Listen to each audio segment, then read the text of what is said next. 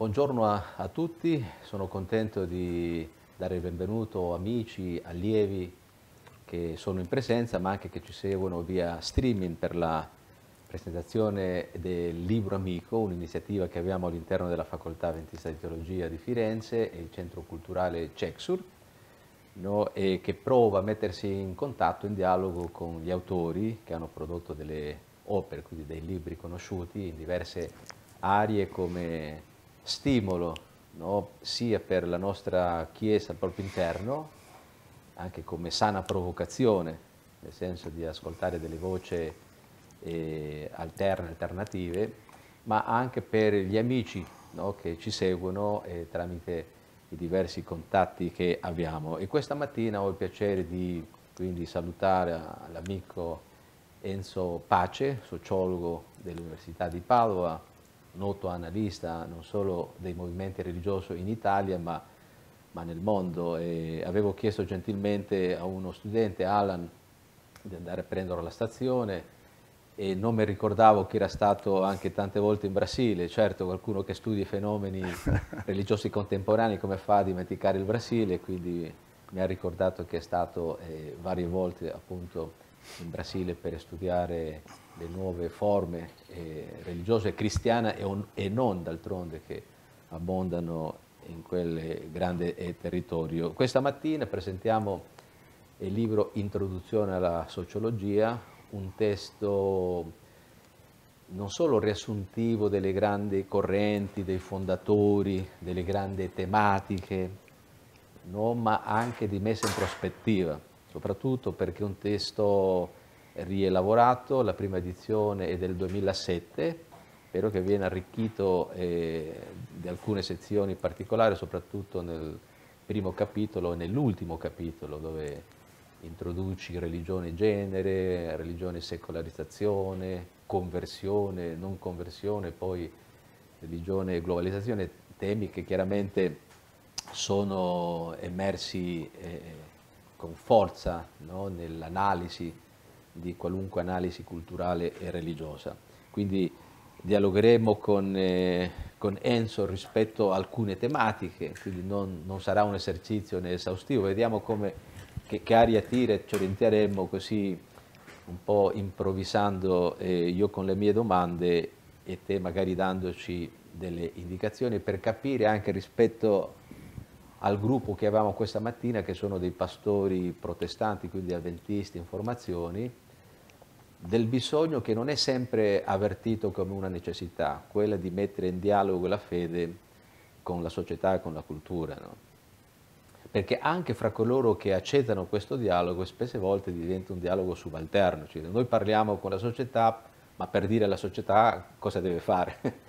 No? quindi è, è, essenzialmente un non dialogo. E, ed è da questo, forse da questa domanda, che partirei no? come una messa in, in prospettiva, anzi una doppia domanda. Può una società perché tu poni il problema, soprattutto nel primo capitolo introduttivo, può una società esistere senza religione? E qui poi noi come credenti eh, ci mettiamo la maglietta e diciamo no, no. ciascuno al proprio livello, con la propria euforia ed enfasi, no? per una domanda seria che non era stata forse mai posta in questi termini, perché prima ogni cultura era no, automaticamente religiosa, invece sospendere la religione dalla società è possibile, ecco, quindi ma la forma rovesciata di questa domanda potrebbe essere la seguente. Può la religione in qualche modo rivendicare un'autonomia pur relativa dai processi sociali? Perché se la religione fosse completamente spiegabile, no? descrivibile a partire dalla sociologia, dai processi culturali, sociali che la sociologia descrive, non avremmo lì una specie di riduzionismo della religione? Mm-hmm. E quindi qual è il rapporto fra religione e società orientativamente è il più bilanciato, il più eh, promettente, mm-hmm. eh, mantenendo di fatto che ogni religione è prepotente, anche, anche noi che siamo piccoli, eh, purtroppo non, c'è una certa prepotenza della religione che vuole essere dipendente da qualunque processo mm -hmm. culturale religioso. Mm -hmm. sì. Ma eh, la prima eh, riflessione che si può fare attorno a queste domande, che sono le domande cruciali che ci si pone non solo nel campo delle scienze sociali, ma anche in campo teologico, se volete, eh, è quello tra uh, il rapporto che c'è fra uh, una uh, ricerca di senso, di verità, che probabilmente appartiene a, non solo alla nostra struttura antropologica, ma forse, forse, forse sta dentro il programma genetico che ci portiamo appresso, cioè questa, questo codice che riceviamo e che noi reinterpretiamo, adattiamo eh, e in qualche modo leggiamo nel, nel, nello scorrere del tempo e della storia. No? Eh, questa domanda eh, appunto, riguarda un rapporto fra appunto, questa ricerca di senso che gli esseri umani hanno cercato di elaborare in, vari, in varie forme, con vari linguaggi, tra cui penso che la religione sia uno dei grandi linguaggi eh, che l'umanità ha provato a uh, sviluppare per dare appunto significato allo stare nel mondo e al passare della storia nel mondo e, e nel provare a vedere se questa, questo passare della storia nel mondo abbia un, una direzione. No? abbia un, un, valore, abbia una, una, una, pretesa che non termina eh, nell'immediatezza dell'utile, nell'interesse concreto. No? L'immagine che spesso uso eh, anche con i miei studenti è che le religioni sono come un compasso,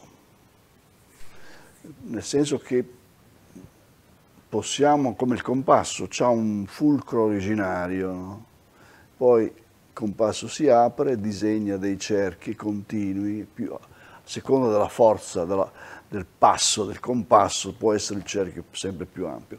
Se noi ci riflettiamo, eh, le grandi religioni nascono in un certo momento, in un certo luogo, addirittura noi possiamo anche sapere eh, qualcosa della biografia personale di chi ha annunciato certa, un certo messaggio. Dopodiché questa parola, che, che qualcuno l'ha sentita, quindi una parola viva, no? eh, ha cominciato a camminare con le sue gambe, come dire, ha attraversato il tempo, cerchi con, continuamente che si aprono, il tempo e lo spazio delle culture. No? Se noi pensiamo eh, tra l'aramaico, che, che, era la lingua di, di Gesù, e il, la lingua cinese, l'ideogramma cinese, eppure abbiamo cristiani in Cina. Come è successo? Eh, questo è un grande miracolo della religione, dico sempre io, al di là dei miracoli, che, ma questo è un grande miracolo perché vuol dire che, cosa vuol dire? Vuol dire che que, questa parola contiene un messaggio potente, cioè che fa eh, cambiare le mappe cognitive della nostra mente e eh, dire, suscita, eh, diciamo una parola forte, una passione per la vita, no? oppure se volete un, un, un linguaggio più neutrale, una, una, una quantità di emozioni che ci muovono, che ci fanno andare, che ci fanno agire.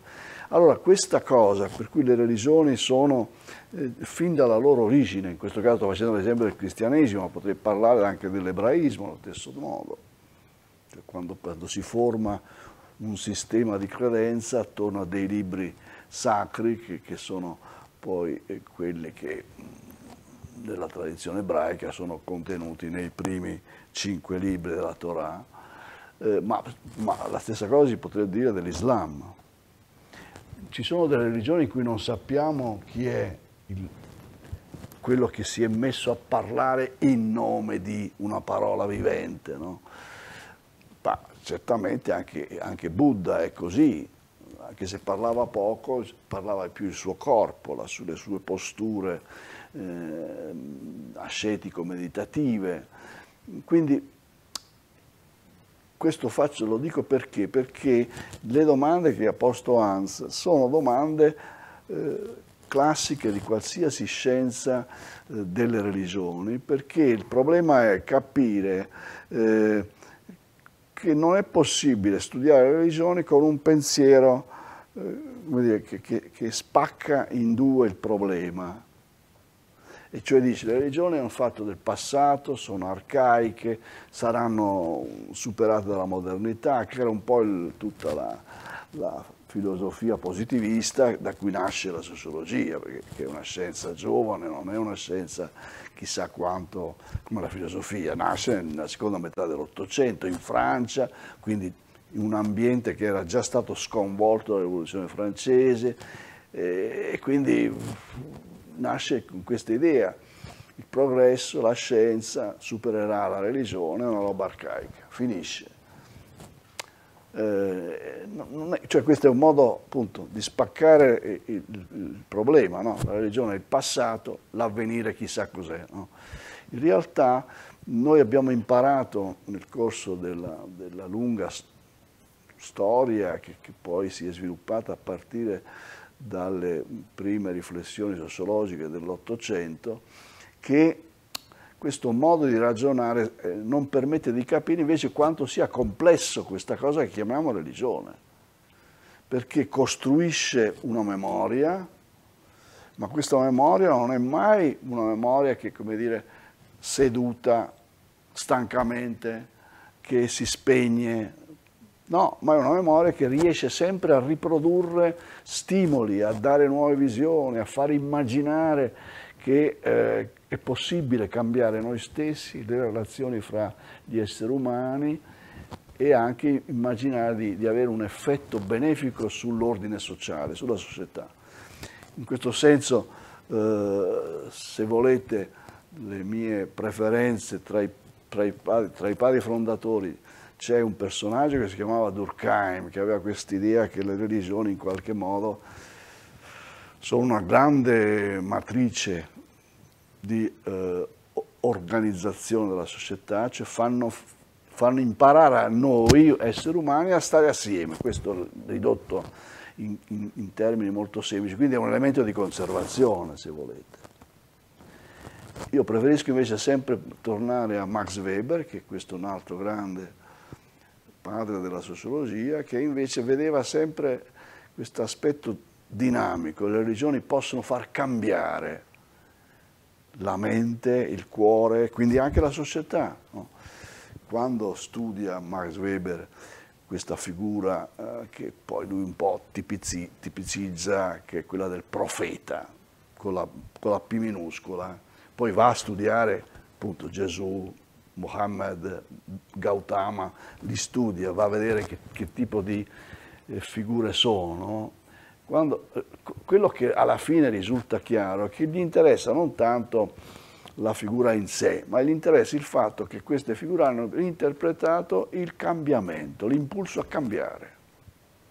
E che il cambiamento nelle società non è solo eh, come, come una certa vulgata del marxismo ortodosso, è passato, non è solo il cambiamento diciamo di tipo materiale, l'economia, eh, le tecniche, eh, i processi di organizzazione eh, burocratica della società, no, il cambiamento è anche cambiamento che avviene nella nostra testa e nel nostro cuore. E allora lì le religioni, secondo Max Weber, hanno svolto e svolgono una funzione non, non di conservazione, ma di mutamento, fanno mutare le, le, le cose. Quindi, allora in questo senso uno dice, beh, se io metto assieme Durkheim e Weber, devo mettermi nella, nella prospettiva di pensare che nelle religioni c'è il cambiamento, ma c'è anche la conservazione e che tutte e due possono stare assieme. Perché? Perché se noi riflettiamo sulla, sulla grande storia del cristianesimo, e vi ponete la domanda, ma com'è possibile che da uno stesso da una stessa parola vivente come quella di Gesù, poi si siano prodotte una quantità così differenziata di modelli di ascesi, di mistica, sette, chiese, organizzazioni piccoline, no, ecclesiole. Cioè, perché questa pluralità eh, che continua, no? perché tutta questa nuova forma di cristianesimo entusiasta eh, pone di nuovo il problema perché? No? Vuol dire però che al di là di, di come si giudici, quindi senza fare una, una, valutazione se è bene o se è male, ma valutandolo un pochino, diciamo, con un minimo di distanza, uno dice, beh, vuol dire che questa parola è capace non solo di creare grandi strutture che in nome della verità diventano potenti, mm, potenti diciamo, forme di potere anche sociale, ma è una parola che, che, desta, eh, che desta, continuamente mh, mm, eh, eh, la mente e il cuore e quindi può, nel momento in cui ci sono condizioni particolari, produrre cambiamenti. Tutta l'epoca del grande risveglio che ha prodotto eh, negli Stati Uniti d'America, poi anche in Europa, appunto l'innovazione, quello che chiama l'innovazione religiosa, che vuol dire prendere un messaggio e far scaturire da questo messaggio una nuova idea, non so, di chiesa, di fare comunità. In una società in cui, le, no, in cui magari anche le chiese della Riforma si erano aggiustate erano diventate chiese organicamente legate a un certo tipo di potere politico, di assetto economico. No? Quindi se il cristianesimo riesce a far questo vuol dire che se io lo studio come, come sociologo o come antropologo, devo pormi il problema se debbo liberarmi dalla categoria per cui la religione, in questo caso cristiana, è conservazione o è liberazione, per, a proposito, ma è probabilmente tutte e due le cose. Cioè noi dobbiamo ragionare adottando il paradigma della complessità. La religione è un fenomeno complesso, ma non nel senso di complicato, complesso perché può contenere aspetti di eh, variabilità e di permanenza il messaggio di, la parola di, di Gesù probabilmente permane, no? Non arriva mai a essere stravolta, ma cambia, perché quel cerchio si è aperto e ha, intercettato altre esigenze e ha fatto parlare no, le persone cercando le parole giuste per tenere viva quella parola che è stata ricevuta nella catena di trasmissione della memoria di Gesù, così come è nell'Islam. No? Se noi guardate questo mondo musulmano, anche lì c'è una pluralità di, di, di, forme, di movimenti, di teologie. Quindi di... anche lì tu dici è più complesso di quanto eh sembra sì. perché noi tenderemo a identificare l'Islam con una certo. chiusura, eh, invece eh sì. anche lì ci sono certo. degli elementi certo. di innovazione. Certo. No? Però eh, ecco, grazie per questa risposta, questo commento che ti inserisci tra, tra, tra i sociologi con una, uno sguardo benevolo e complesso di fronte al fenomeno religioso. Ci sono stati dei sociologi più negativi. Sì. No? Quindi ti inserisci nell'ottica di Tocqueville, di Max Weber, sì, no? sì, e che, di Trelch, di Trelch. che ecco. mi ha insegnato molto, devo certo. dire, mi ha insegnato molto. Trelch, per chi non lo conosce, è, un, è stato amico di Max Weber, tedesco come Max Weber, però rispetto a Max Weber era anche un teologo luterano. Quindi, come dire, aveva le mani in pasta. Max Weber sì, capiva benissimo cos'è la teologia protestante. Il suo libro eh, Etica protestante lo spirito del capitalismo è spesso pagine e pagine di analisi di alcuni testi di teologia, insomma, del puritanesimo. Certo. No. Però la domanda che a me verrebbe da porti, perché tu hai colto degli esempi di religioni come Max Weber fa di fronte al protestantesimo, di religioni che fungono da elementi di trasformazione. Però ci sono anche delle religioni, o una parte in tutte le religioni, funge da da ostacolo al mm. progresso, all'innovazione mm. e quindi la sociologia deve, non deve perdere questa dimensione critica appunto per sì. eh, eh, sì. smascherare sì. questo. E io per esempio trovo, trovo che uno degli effetti collaterale del dinamismo di molte religioni, prendiamo il caso del protestantesimo, no?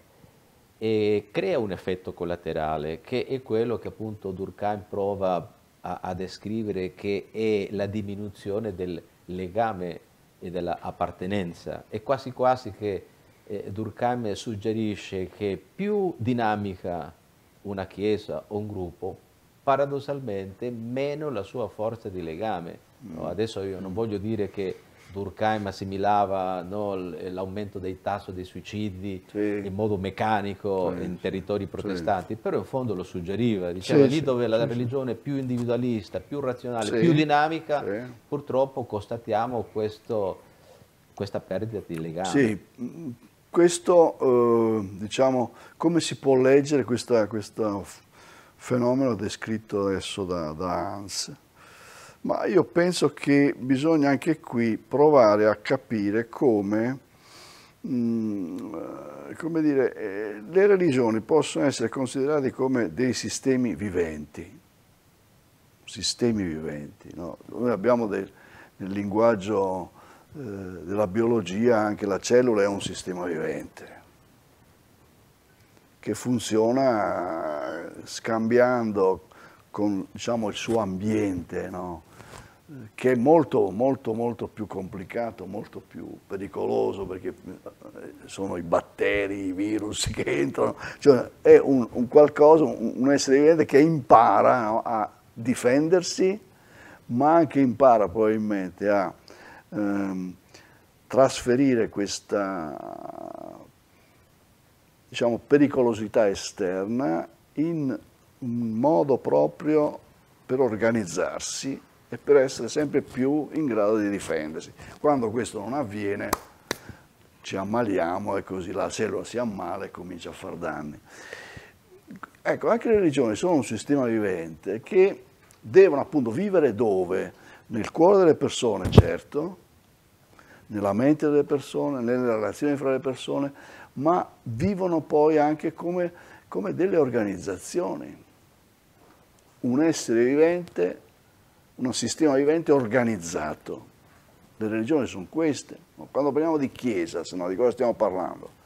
Parliamo di una forma organizzata che rende possibile, come dire, dare continuità a che cosa? A una credenza, a delle forme eh, di, di, eh, spirituali, la preghiera, e la cosa fondamentale, quello che, che, di cui parlavi tu adesso, di, che Durkheim sottolinea, al, al, rito.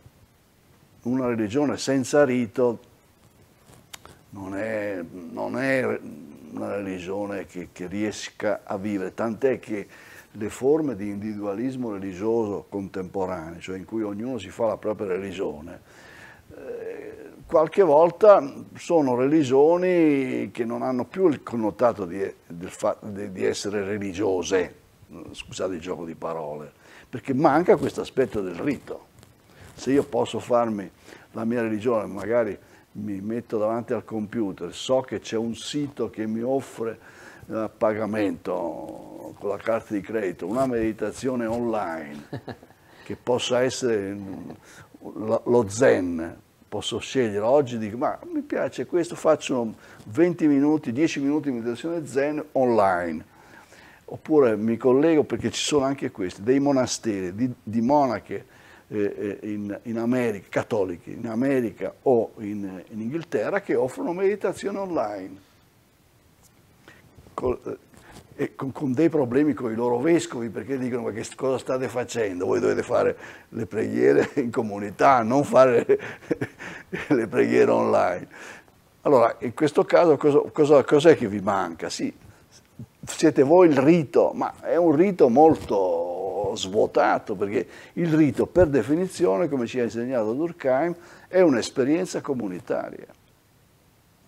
Perché? Perché questa è la grande intuizione di Durkheim che resta ancora valida, e cioè le religioni eh, riescono a far comunicare le persone con un codice che eh, è scritto mh, con una lingua che non si ferma alla descrizione della realtà in cui vivo, ma cerca di questa lingua è, è scritta in modo tale che io veda oltre il limite eh, ciò che è determinato, ciò che è puro utile, no? al di là dell'utile o dell'interesse, io vedo qualcosa di più.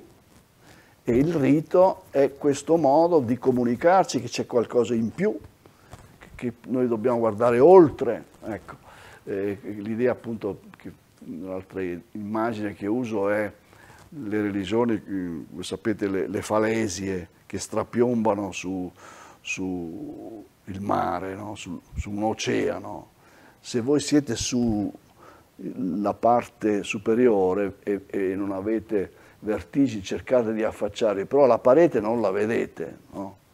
Per vedere la parete dovete andare a largo e allora lì scoprirete che questa parete non è uniforme, è fatta di tanti strati e se questa se, questa, se poi tornate sul, sull'altura della parete e guardate avanti, cosa, vedete quello che noi diciamo l'orizzonte, cioè il non finito. E se guardate in giù vedete qualcosa che anche lì è il profondo. Le religioni sono questo, sono questa, questo linguaggio che permette agli esseri umani di guardare il non finito di immaginare il non, il non, finito, di credere che ci sia un non finito, e il profondo, al di là della superficie eh, dell'acqua. Questa, questa, e quindi questa, mm, allora, se così è, se la religione è così, cioè questo far parlare gli esseri umani, eh, farli comunicare su questi grandi temi, dov'è che si comunica? Si comunica spesso nel rito, no? quando appunto nelle religioni si, si fa memoria o di, di, parole dette o di gesti fatti. Mm? E quindi questo interiorizzare gesti e memoria permette poi di accumulare dentro di sé eh, una convinzione che appunto la società non finisce eh, laddove, laddove finiscono gli interessi materiali, ma è qualcosa in più. Ecco, questo qualcosa certo. in più eh, lo si sperimenta nel rito. Quando è che si indebolisce l'appartenenza a una chiesa, a una comunità? Quando appunto si comincia a dire ma mi annoia, si ripetono sempre le stesse cose, quel, quello fa un sermone che proprio, se posso lo evito. Cioè, tutto, quando tu, entra tutto un po' burocratizzato, e che è uno dei problemi gravissimi con le nuove generazioni, che spesso hanno molte chiese. Quindi mi raccomando, di fronte a un culto non scegliete mai alla carta, anche se non vi piace rimanete seduti. No, però eh, a parte poi la, eh, la, battuta, e questo è un problema serio, però, certo. per, perché è un problema serio? Perché non è giustamente la religione moderna tendenzialmente antiritualistica. Già lo diceva per esempio Robert Bella quando analizza mm. mm. no, il periodo assiale, sì, dice sì. già nel periodo assiale, no, sì. eh, quindi i profeti, anche i filosofi, anche Buddha, non è caratterizzata, dice lui, in tempi che ancora erano incantati, dice non è questo periodo assiale comune a tante religioni caratterizzato da un superamento del mito verso una religione più razionale e da un superamento del rito nella etica.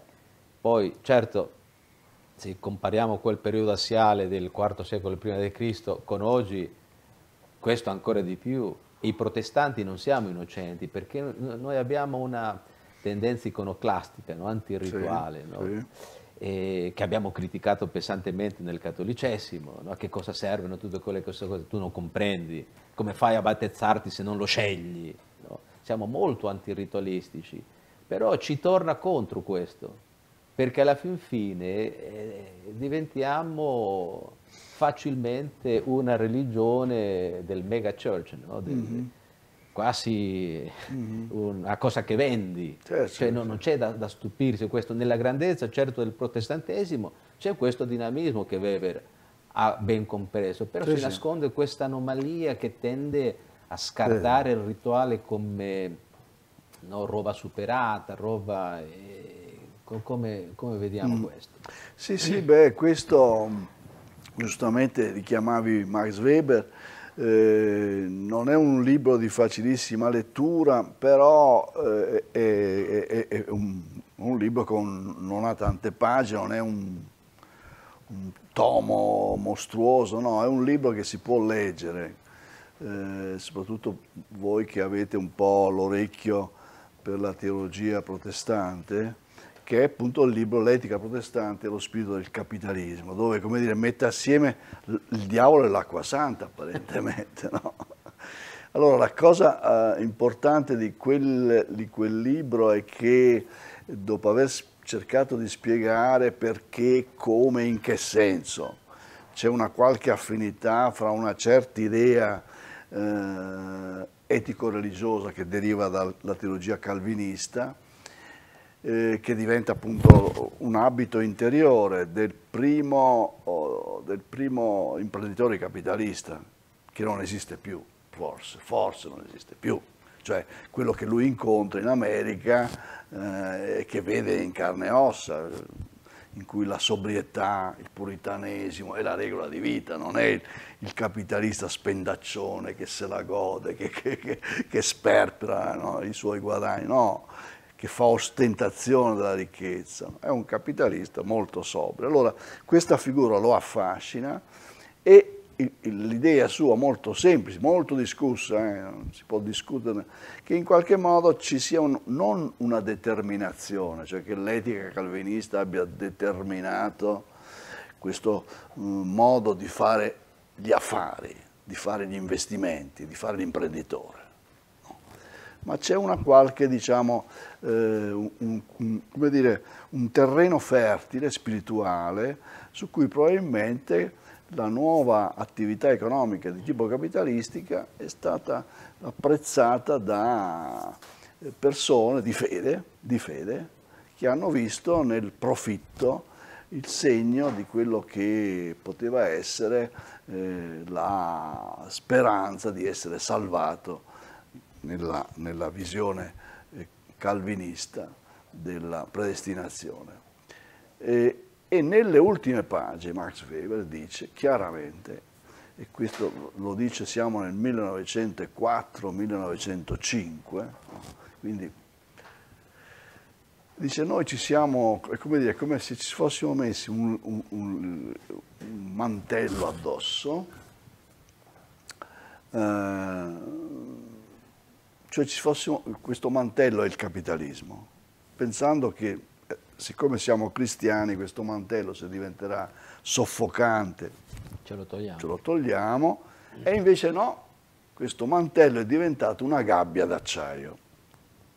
Cioè il capitalismo, come dire, ha succhiato questa linfa anche vitale no, dal protestantesimo e poi è diventata una roba autonoma che funziona secondo una, una sua logica, eh, per cui diventa, dirà più avanti qualche anno dopo un altro grande intellettuale tedesco, un filosofo, Walter Benjamin, che il cristianesimo eh, appunto non solo dire, ha dato sangue al capitalismo, ma il capitalismo ha usato il, il cristianesimo come appunto un, un, istituto sanitario a cui ha sempre ricorso per riparare i guasti del mercato.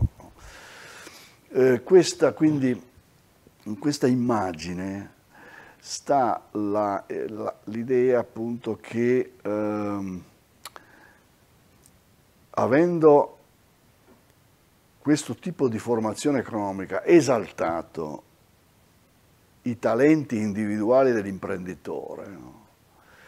Eh, ha potuto apparire in alcuni casi ad alcune correnti teologiche protestanti come in fondo una forma di secolarizzazione dolce del cristianesimo, cioè come se il cristianesimo si fosse eh, incarnato in questa forma economica e che quindi bandava questa forma economica battezzata.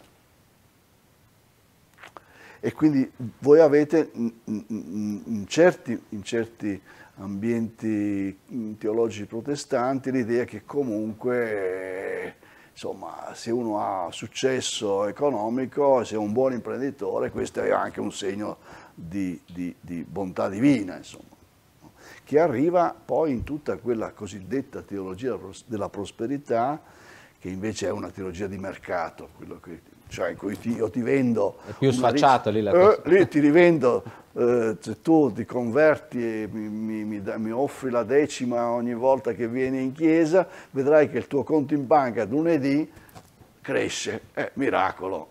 Allora, siamo proprio lì alla smaccata eh, vendita di un prodotto.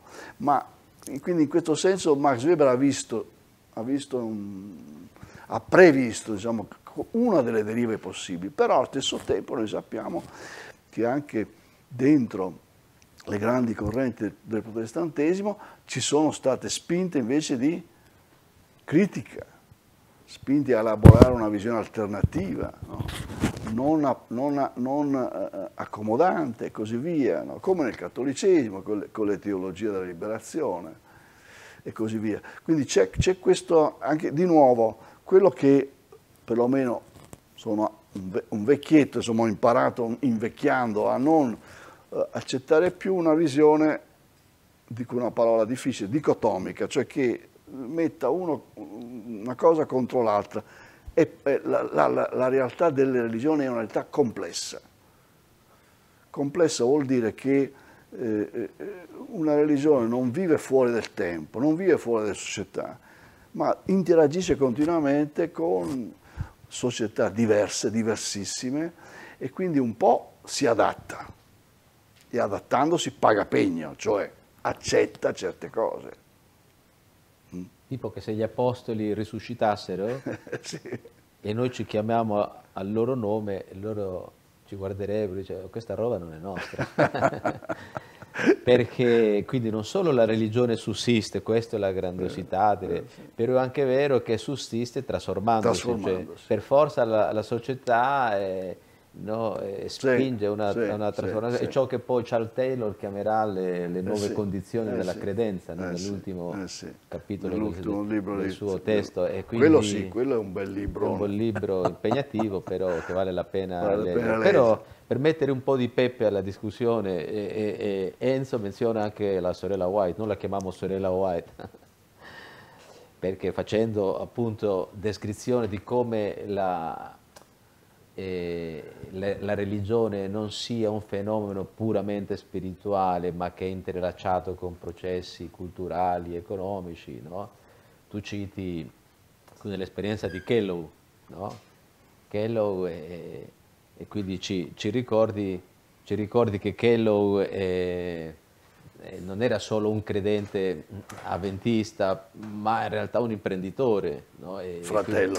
il fratello, fratello sì, sì, che, che, poi li, li, li, li ruba la marca. Eh, sì. la, la, la, marca ecco, intanto però, tanto siamo in un dialogo amichevole, e c'è una cosa imprecisa qua, che magari Dimmi. poi nella, quando tu dici no, i Chelo erano eh, fratelli che avevano aderito alla Chiesa dei Santi degli ultimi giorni, no? questo mi sembra che non è preciso, e poi quando tu dici altrimenti conosciuta come Chiesa Adventista, questo è chiaramente da correggere, sì, sì. perché noi non avevamo nulla a che fare con, non perché siano semplicemente... Sì il riferimento... Sì, è l'avventismo. Diciamo, l'avventismo, che ci sia è stato nei mormoni una corrente certo messianica, quello sì, però non con la Chiesa Adventista. No. Però è, è ciò che tu metti in evidenza in fondo qua è, è il fatto evidente che cioè, non c'è nessuna religione o avventista o altro che possa fare a meno dei processi anche economici. Certo. Questo rapporto è chiaro, più sfacciato in alcune no, religioni dove tu giustamente dici dove in modo evidente si vende e si, per un rapporto del quale poi nessuna Chiesa no, può ma lì, lì il caso Kellogg mi ha sempre incuriosito perché è, è proprio la, l'aspetto interessante, soprattutto nel, nell'igienista, nel medico, diciamo, quello John di, Kellogg, sì. eh, John Kellogg, quello di dire, va bene, proviamo effettivamente a tras- tradurre un messaggio, in questo caso profetico, di White, no? Che bisogna essere puri, no? proviamo a tradurlo in una, in una ricetta di vita quotidiana. Perché le, le religioni, appunto, sappiamo benissimo dalla tradizione ebraica cristiana, ma anche poi nell'Islam, in altri, in altri nell'Induismo e così, eh, sono anche sistemi di norme che tu mangi anche quando mangi. Quando ti nutri, cioè questo elemento vitale no, del nutrimento, le religioni cercano di disciplinarlo e di dargli un significato, quindi non devi solo pensare che, che è buono, che mi, mi riempie la pancia mi, mi, mi dà gusto al palato, no, ma c'è un significato, quello che dicevo prima, c'è un significato che va oltre l'elemento immediato. Allora, in quell'esperienza lì è interessante perché, vabbè, inventa questa, questa, questo breakfast alternativo, quindi in questo caso è un esempio che facevamo anche prima, in questo caso una religione cambia la tua testa e il tuo cuore ti fa mangiare una cosa diversa. E però, come al solito, queste invenzioni eh, possono anche poi, come dice Max Weber, possono così essere sì, un mantello leggero, ma poi diventano eh, qualcosa di, di diverso, cioè sfuggono alla logica di una religione, entrano in una logica di mercato ed è quello che fa il, il fratello un po'. Certo. Lui che approfitta Eh sì, il marco cioè religioso. Capisce, capisce che quello è un grande business, no? Eh, se voi eh, eh, guardate la storia di questa grande azienda, perché ha fatto, è una grande azienda eh, multinazionale, adesso c'è l'ultima, ho visto che si è fatto un accordo con la Ferrero, quindi ancora Grande. più eh, che già la Ferrero è una multinazionale per conto proprio, quindi, però capite, non c'entra più Certo. non c'entra più, un'altra storia, in questo senso. Però è interessante questo, questo nesso per cui eh, le religioni sono anche organizzazione, lo, ripeto spesso, sono anche organizzazione e non è una parolaccia applicarlo alla religione. Cioè io posso studiare una religione, non solo andare a vedere appunto le correnti spirituali, la ritualità, le, le- le teologie che sono in moda attraverso cui una religione riflette su se stessa, ma vado a vedere anche come si è organizzato. Perché se io guardo per esempio tutta la discussione che ha attraversato fino anche agli ultimi tempi eh, le assemblee di Dio, cioè che, che modello organizzativo eh, usiamo?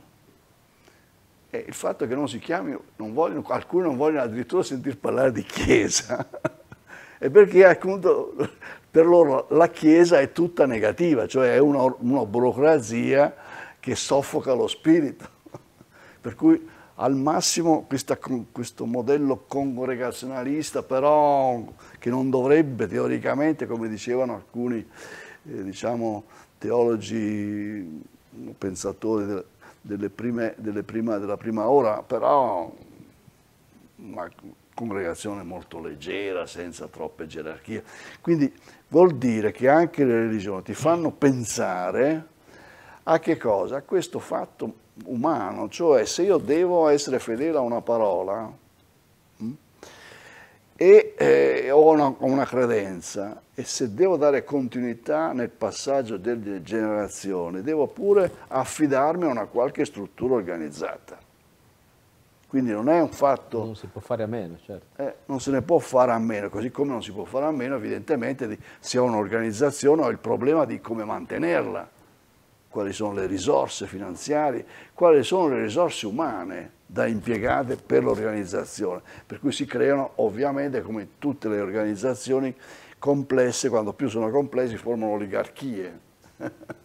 no? oppure si forma una divisione del lavoro tale per cui quelli, sì va bene, tirano la carretta e gli altri va bene. No? Cioè, cioè si, si, creano queste, questi processi che sono processi normali, diciamo, nello studio di tutte le organizzazioni complesse. Ecco, allora se uno ha questa prospettiva eh, può, può eh, fondo... non, ridurre, non ridurre un fenomeno solo a una dimensione. La religione è un fenomeno multidimensionale. Perché lì le religioni si confrontano con due estremi in realtà. Quando per esempio l'organizzazione diventa così forte, così puntata al guadagno, la spiritualità scompare. Però se non ci fosse questa religiosità, cioè questa organizzazione, ecco, saremmo sì. nella giungla e nell'ambivalenza, non ci sarebbe trasparenza e quindi è un qualcosa di legittimo ma va mantenuta sott'occhio, diciamo così. Sì, insomma, eh, per esempio questo è uno dei paradossi che apparentemente in sociologia della religione ci si pone quando si, quando si studiano i paesi scandinavi, dove hai dalle indagini che facciamo con se si fanno, insomma, con questionari, tu hai una popolazione che ti dice lei frequenta il servizio religioso una volta alla settimana 5-6%, però poi chiedi ma lei da un punto di vista religioso come si definisce? Allora uno dice luterano 80%, 80%. che è la stessa cosa che se, anche se messi a confronto il caso italiano eh, è interessante, no? Stessa cosa che voi vedete nelle grandi indagini sull'Italia, no? vedete che il dato sulla pratica religiosa, cioè la, la, frequenza della messa domenicale, continua a scendere, siamo ormai al 21-22% alla domenica della popolazione. Era il 50-60% negli anni 50, no? E si mantiene sempre elevato anche se sta scendendo, chi, chi risponde sì, sono cattolico. Vuol dire che uno può leggere in vario modo quelli che dicono questo è un fenomeno legato alla secolarizzazione, sì, è anche vero, è anche vero che cioè il fatto che uno non creda più, allora anche lì cosa vuol dire non credere più? E invece noi scopriamo facendo delle indagini qualitative che eh, non è che scompaia il bisogno di, di eh, religione oppure che non uno vada a cercarsi di soddisfare questo bisogno altrove. Per cui culturalmente sono cattolico, ma di fatto ho, ho, mia, un mio modo di, di, accedere alla religione, non più attraverso la Chiesa cattolica, cioè l'organizzazione cattolica. Questo è, questo è, una... questo è l'aspetto eh, per cui anche nei paesi scandinavi non è che la religione sia sparita, perché uno dice che il 5%, le cose invece vanno in questa direzione spesso in alcuni paesi come la Francia, dove in effetti il calo è talmente drastico per cui la gente effettivamente della religione sembra non farne più uso, non avere più bisogno, insomma, ci sono alcuni casi, però sono rari, la maggioranza dei casi vanno in un'altra direzione, vanno in forme di religiosità moderne, più individualizzate e probabilmente è il caso dei paesi scandinavi. Alternative, sì, sì, sì.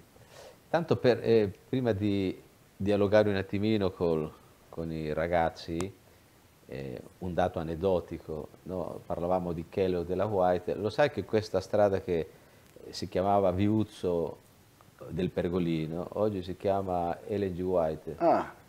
Io non l'avrei messo perché ah. non vado molto... Ma da dove? quando? Beh, da sei mesi. Ah, il comune allora, ha detto... In omaggio di... In eh, omaggio quindi, di... quindi questo come un dato eh, sociologico. Eh, sì. quindi, che vuol ecco, dire eh. però che, che, come dire, questo paese sta cambiando, sì, però un po', è un po' un cambiamento di atteggiamento. Sì, sì, il, Un'ultima domanda, poi passiamo al dialogo. E, e nel capitolo terzo del tuo libro eh, tu fai il distinguo fra sacro, religione e religiosità. Ecco, la, la sociologia, essendo una disciplina quindi moderna, e come fa a studiare il sacro? Come fa studiare la religione? Un po' meglio già, ma comunque, e quindi si concentra, tu dici, sulla religiosità mm. perché la religiosità offre dei criteri più oggettivi. Almeno. E quindi la sociologia in fondo è una disciplina quindi, che misura, quindi oggettivamente almeno prova a prova, misurare. Prova. Quindi in questo c'è una grandezza, perché ciò che rimane un po' etereo, un po' sì, invece sì, lo porta ai sì. numeri, alla concretezza dei numeri, con un grande beneficio di lettura e tutto. Però allo stesso tempo ecco, c'è il rischio di riduzionismo, in quanto può una religione essere certo, ridotta certo. al numero, certo. alle no, quantità, questo, statistiche. Questo lo diciamo ormai molti, siamo consapevoli, cioè che questa analisi, che poi è un'analisi statistica, no? con dei pacchetti statistici, matematico-statistici, come dire, che riducono i comportamenti, perché quello, i comportamenti, gli atteggiamenti che noi mh, calcoliamo sulla base di ciò che le persone ci dicono nelle interviste.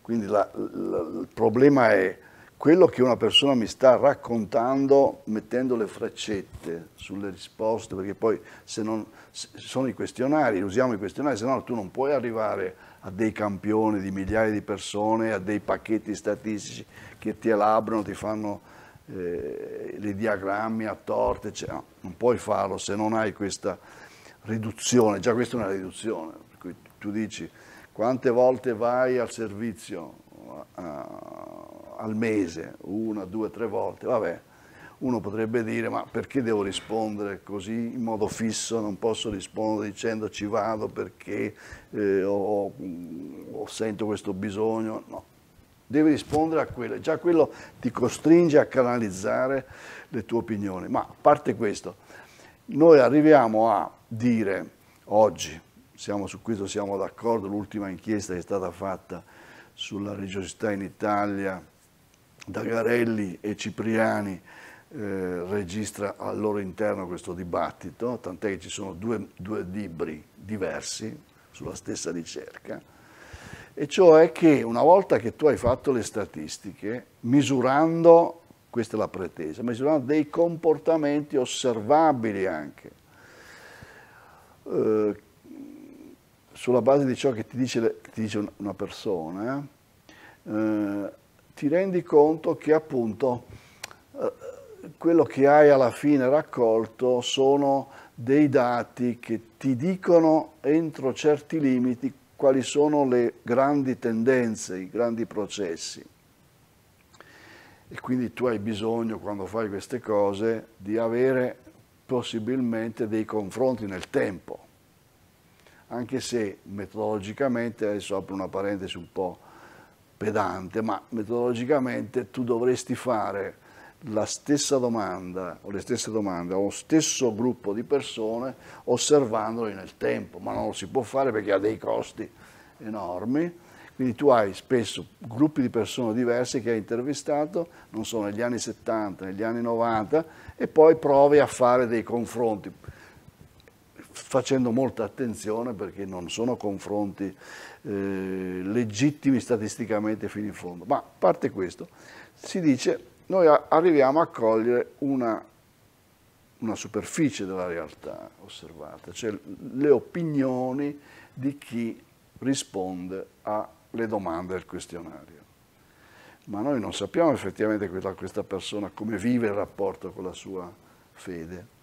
Da qui l'idea di integrare queste ricerche con quelle che vengono chiamate indagini qualitative, cioè con dei gruppi che vengono lasciati liberi, persone lasciate libere di parlare, cioè di raccontare la loro eh, esperienza vissuta e ovviamente senza, qual è il limite? Che non puoi generalizzare, però puoi tirare fuori degli elementi interessanti, per esempio tutta la parte sulla religiosità giovanile che oggi in Italia è difficile da misurare con le vecchie categorie perché hai una, una, una quantità di eh, problemi, proprio ling, di linguaggio. Se tu chiedi a una persona, eh, lei crede in Gesù Cristo risorto eh, c'è una fascia di popolazione giovanile che su questa, questa formula non sa cosa dire, non la capisce, ma non ha più neanche le parole per dire sì o no. Allora tu dici che sono diventati atei oppure invece c'è qualcos'altro. Allora devi prendere queste persone e cercare di ascoltare e farti, e farti un'idea di qual è il loro linguaggio per entrare nella sfera religiosa, diciamo. Ecco. Questo elemento dell'indagine qualitativa appunto è una, uno strumento per andare al di là della superficie. Ecco.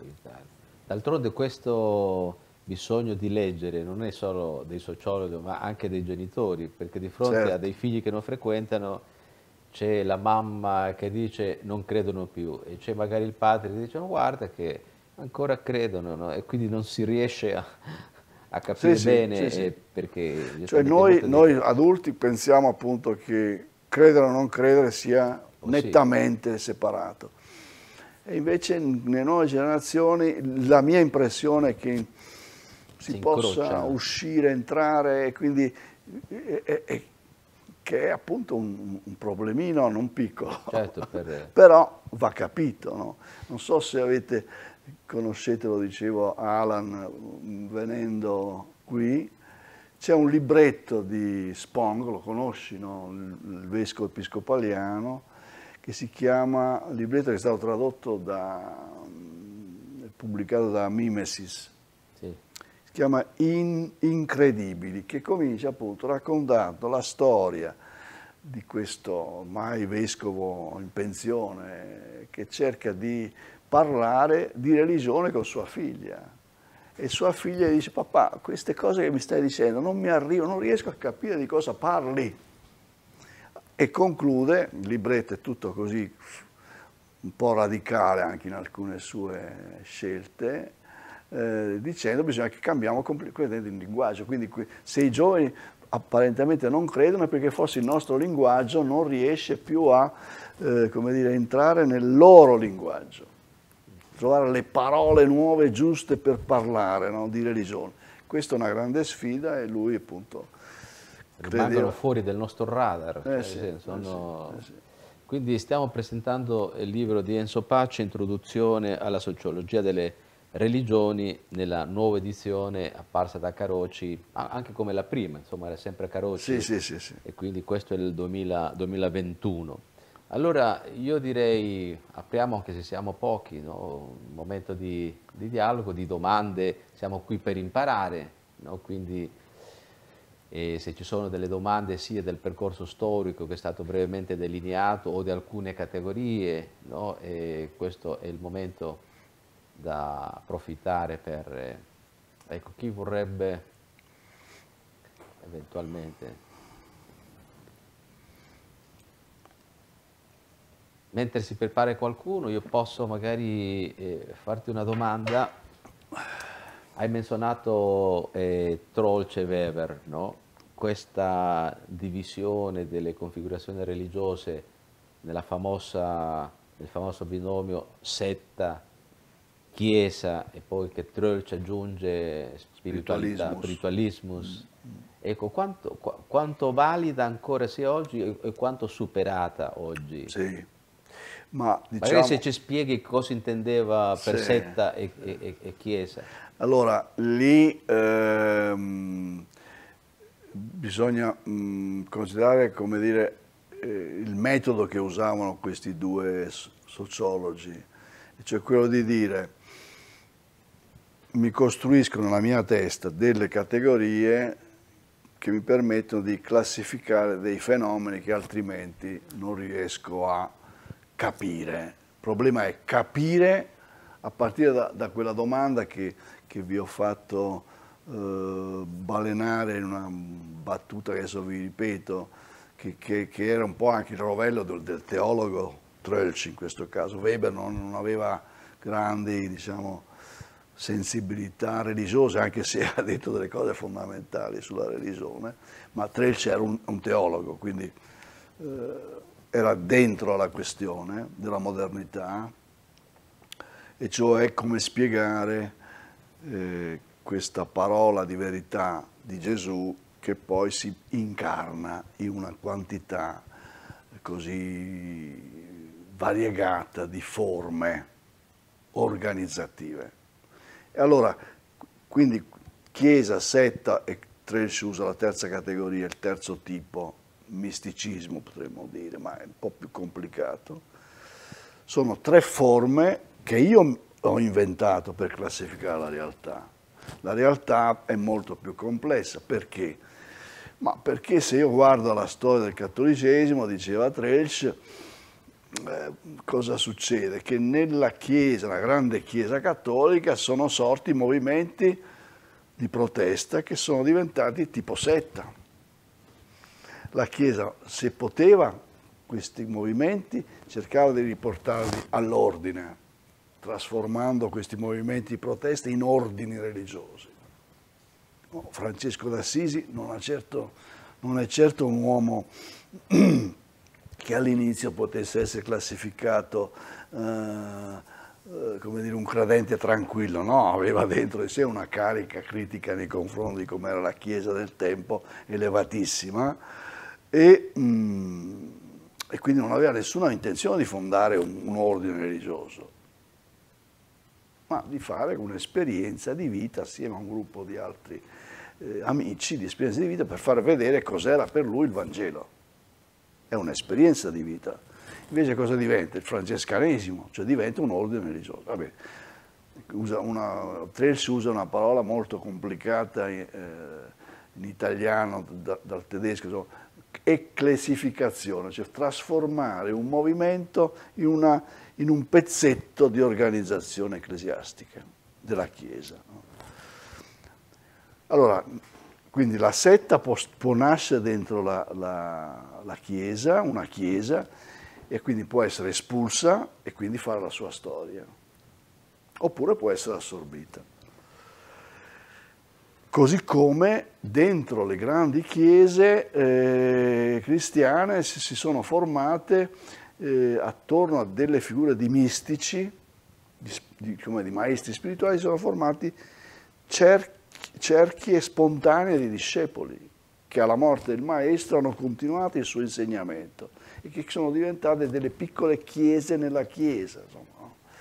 Allora, questa idea quindi non è che queste tre caselle le riempio eh, e sono fisse, nella realtà sono molto più mobili, e si può dire che mm, mm, mm, non c'è, chiesa che non abbia conosciuto il problema della parola setta, vuol dire qualcuno che si separa da una, da una uh, uh, uh, comunità a cui apparteneva. E il problema qual è la differenza di fondo da questo sociologico? È che tu in una chiesa ci nasci, teoricamente. No? La setta, proprio per sua, il suo principio per cui io mi separo perché non sono più d'accordo con il modo con cui voi interpretate il Vangelo, no? diventa un, la setta diventa, l'adesione alla setta è un fatto di scelta individuale. Scelgo di separarmi, questo è il principio organizzativo. Per cui siccome allora la Chiesa ha sempre l'immagine di essere per tutti.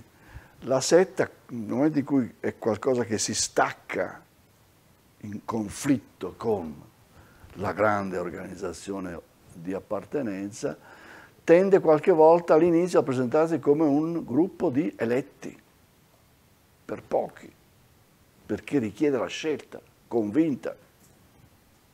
Dopodiché, come ci ha insegnato Nibor, teologo eh, luterano, luterano ah, dopodiché le generazioni passano.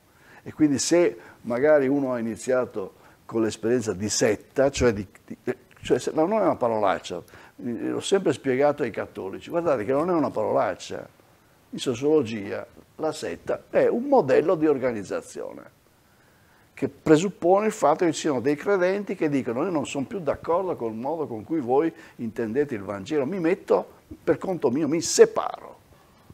E quindi all'inizio c'è l'idea di essere il gruppo dei santi eletti, la comunità dei santi che dice io sto interpretando il Vangelo in modo nuovo e autentico. No?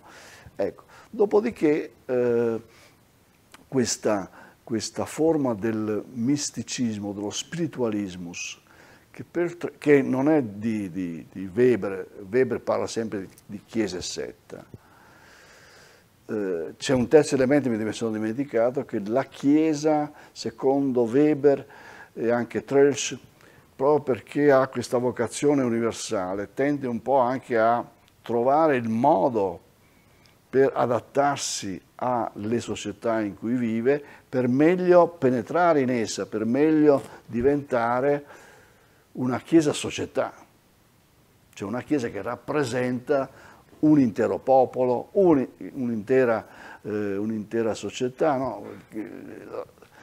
Lo vediamo oggi drammaticamente eh, nella guerra in corso, dove appunto impariamo, a, per chi non la conosceva, impariamo a capire cos'è una Chiesa ortodossa, che appunto pretende di essere la Chiesa del popolo russo, del popolo ucraino, no? cioè di rappresentare la totalità di una società, no? anche se la società non è così, non è tutta ortodossa ci possono essere ortodossi critici, ortodossi un po' tiepidi, non più ortodossi praticanti, insomma, come dappertutto. Quindi questa idea della Chiesa che si compromette con il mondo, come dice Trelce, che è un'idea interessante, perché può, può, far capire anche fin dove ci si può spingere nel compromesso, cioè diventare Chiesa potere, alleata col potere politico, no? subalterna o addirittura sul tema della politica, addirittura usare la politica per, per, eh, fare, una, una, per fare, un controllo egemonico sulla società dal punto di vista spirituale e religioso. Cioè. Questo terzo tipo, lo spiritualismus, possiamo tradurlo il misticismo, secondo Trelch è una corrente che attraversa tutta la storia del cristianesimo, che si ripresenta dappertutto, è come dire, è, è, è una è una, è una corrente carsica no? che riaffiora inaspettatamente no? in, in, tutte le, le, forme, dalle sette alle chiese, cioè, cioè sarebbe quindi un terzo tipo che in realtà sta dentro tutte le altre due eh, forme e che può diventare autonomo in certe circostanze storiche. Per cui per esempio qualcuno ha detto ma allora questa terza forma di, di cui parla Trace potrebbe benissimo adattarsi a tutte queste forme di individualismo religioso moderno, quando ovviamente no, non è più così solo consumistico, ma va verso forme di eh, ascesi e mistica individualizzata, magari avendo anche un maestro, ma si nutre individualmente di una esperienza religiosa. Allora, lui diceva questa potrebbe essere, lo dice nelle ultime pagine delle dottrine sociali delle chiese dei gruppi cristiani, lo dice un po' anche, lì, anche lui profeticamente, questa potrebbe essere un, una, una forma che si adatta flessibilmente molto meglio delle altre due, chiesa e setta, alla modernità, cioè all'individualismo moderno che in effetti anche lui ci ha azzeccato un po', ci ha azzeccato. C'è una, una, corrispondenza. Sì. E, sì, quindi grazie per... Vediamo se c'è qualche, un ultimo intento di provocare al gruppo, c'è qualcuno che vuole fare una domanda, condividere un pensiero, magari che è subentrato nella presentazione. Prego.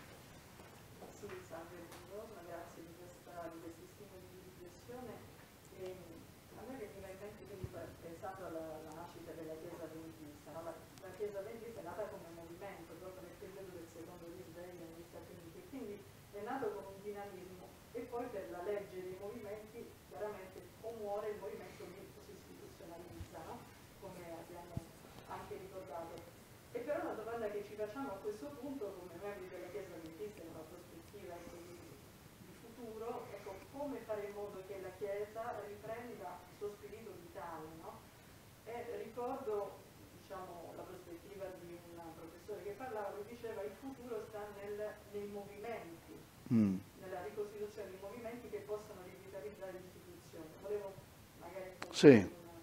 Sì, questo, uh, guardi, questo è un elemento che mi ha sempre colpito, soprattutto eh, guardando e paragonando eh,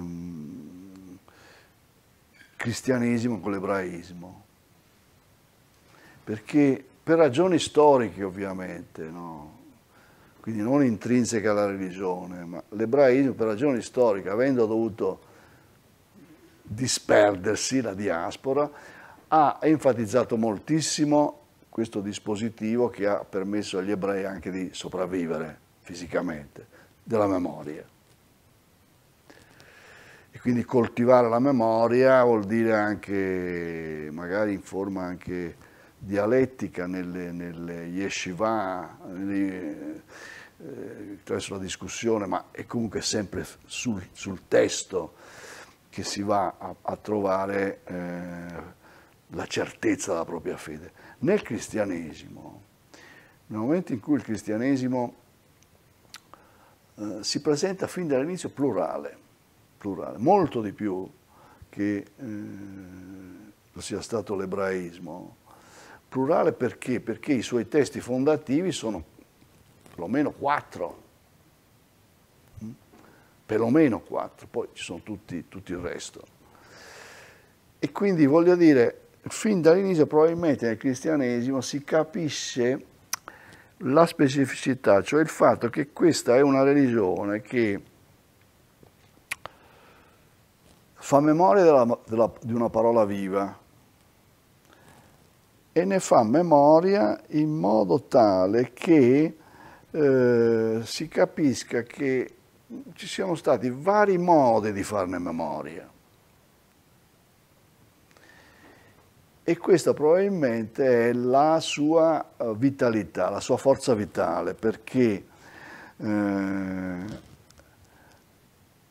il cristianesimo ha potuto in, quest in questa maniera probabilmente eh, essere chiesa, setta e spiritualismo. Allora se è così, se è così, se la sua cifra è eh, una parola che non ti invita a sederti, no? che non ti invita a essere soddisfatto di un'organizzazione che hai raggiunto, del fatto che, che tu hai un'istituzione ormai, dici, beh, quella è la verità, no? Ma che, insomma, questa spinta, secondo me, c'è nel cristianesimo. Il problema è vedere come si fa metodologicamente a... Eh, secondo me la, la cosa più più che noi abbiamo imparato, al di là adesso delle scienze sociali, che eh, dobbiamo affidarci a, a, chi è capace di rendere fresca la parola, di, di, cioè di, di dare alla parola quella trasparenza che ha come forza di senso. No?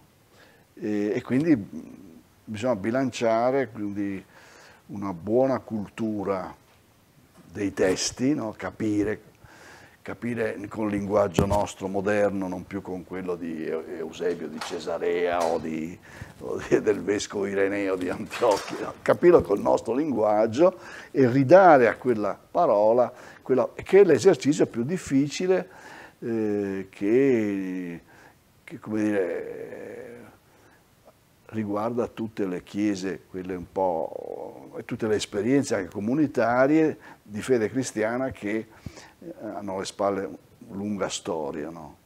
Se lei entra oggi magari in una di queste nuove chiese, mega chiese, eh, non c'è più ovviamente l'altare, c'è il palcoscenico, c'è il leggio, ma eh, qualche volta mi sono sforzato di vedere cosa c'è sul leggio, se era la Bibbia o se era qualcos'altro, oppure se era un finto libro di quelli che si mettono negli...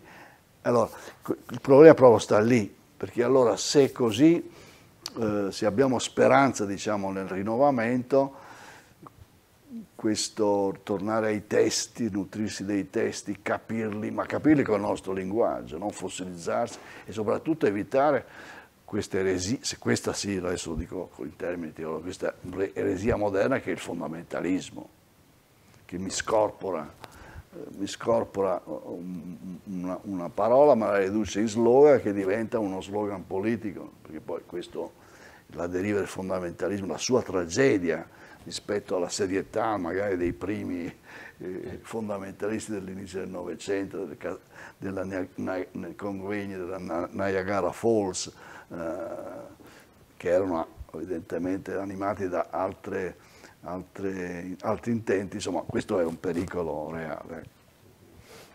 Grazie, allora io e Mattia, prego, prego, così concludiamo. Eh, ringrazio per la sua esposizione e volevo fare una domanda specifica, ovviamente in pillole, che capisco che può essere. Secondo lei, dalle meta-analisi sociali, socio-antropologiche. Qual è la relazione che si può intravedere comunque dalle analisi fatte, dai risultati ottenuti tra la religione e ehm, diciamo, i classici archetipi culturali che possono essere Dio, la morte, l'individuo e il quarto che non me lo ricordo, e il tempo. Secondo lei quale, che interazione c'è dalle analisi svolte, fatte? Sì, eh, la, la, parola Dio è quella più complicata, le altre sono più, eh, sono più diciamo, abbordabili, nel senso che nelle scienze sociali, antropologia, sociologia, psicologia, eh, oggi c'è una nuova, anche nuova, insomma non è nuova, però aiuta molto anche nel campo delle scienze, la semiotica e poi tutto il campo delle, delle, delle teorie della comunicazione, quindi è molto più ampio. Allora, lì ehm, la, la, la, relazione fra il modo con cui si interpreta il tempo attraverso una visione religiosa spiega molte cose, spiega molte cose, eh, forse c'è la registrazione ancora, c'è una bellissima trasmissione simile a questa che hai fatto intervistando la Stimili su Taubes. Ah, Jacob Taubes. Jacob Taubes. Non avete mai letto Jacob Taubes? Leggetelo perché è interessantissimo proprio per, per capire come un certo tipo di cristianesimo abbia portato fino alle estreme conseguenze l'idea di interpretare il senso del tempo che per carità il cristianesimo c'è, no? il, il, il, il, già e non ancora, no? la prima venuta, la seconda venuta, tutto questo tema qui, ma come questa immaginazione religiosa sia diventata anche un'immaginazione sociale o anche politica addirittura. No? Quindi c'è una, una, una relazione stretta il tema dell'individuo che nel cristianesimo prende anche la maschera della persona, no? come si indossa, attraverso il cristianesimo l'individuo indossa questa maschera chiamata persona, che eh, ha, ha, ha, tutta una serie di ricadute che si possono studiare in tutta quell'area di, di, scienze che, che, che sono interessate per esempio al diritto, al diritto che, che tratta dei diritti umani fondamentali, alla, alla, allo sviluppo umano di tipo economico, non dello sviluppo economico, dello sviluppo umano, Amartya Sen, cioè tutta questa, eh, quindi c'è un campo.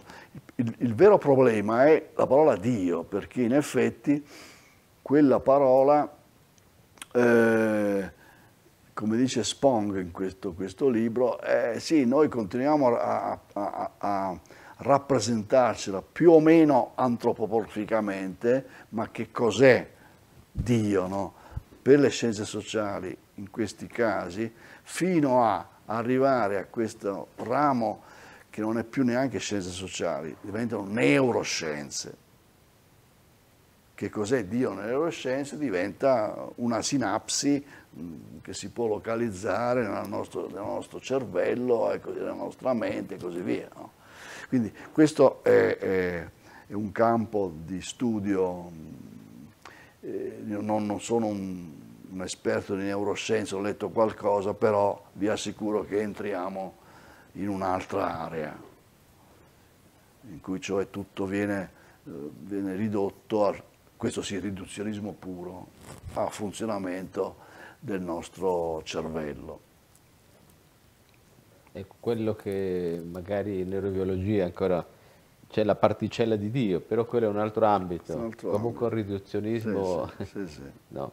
Allora io direi grazie Enzo per, Grazie a voi. per gli stimoli. Abbiamo quindi la registrazione e gli studenti che non sono stati presenti potranno usufruire di questo e quindi grazie alla prossima no? e quindi anche buona continuazione per tutti voi.